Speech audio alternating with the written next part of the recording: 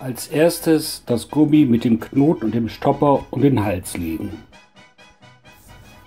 Danach das zweite Gummi um den Kopf legen und das Alublech um die Nase herum formen.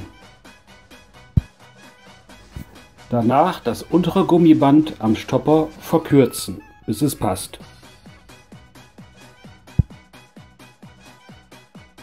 Als letztes das Tuch der Maske auf den Gummis etwas nach vorne schieben.